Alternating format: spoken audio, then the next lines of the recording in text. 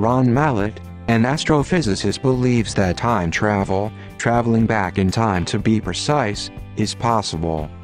Mr. Mallett serves as a professor of physics at the University of Connecticut. He told CNN that he has written a scientific equation and principles which could potentially help build a time machine. Mallett's findings are based on Albert Einstein's theory of special relativity. If you can bend space, there's a possibility of you twisting a space, Mallett told CNN. In Einstein's theory, what we call space also involves time, that's why it's called space-time, whatever it is you do to space also happens to time. Mallett believes that time can be twisted into a loop to make traveling back to the past possible. He has also developed a prototype to show how lasers could be employed to produce a circulating beam of light that twists space and time.